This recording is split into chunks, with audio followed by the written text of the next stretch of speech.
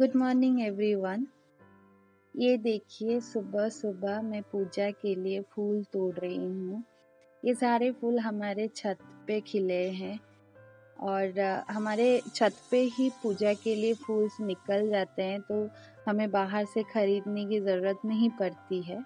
हाँ बड़े बड़े फेस्टिवल्स के लिए हम खरीद के लेके आते हैं, नहीं तो डेली पूजा हमारे छत से ही जो फूल निकलते हैं, उसी से ही पूजा होती है। और सुबह ये काम करना, पूजा के लिए फूल तोड़ के रखना मुझे बहुत ही अच्छा लगता है और मैं बचपन से करती भी आई हूँ। इससे एक पॉजिटिव वाइब मिलती है, पूरा दिन अच्छा जाता है और बहुत शांति मिलती है।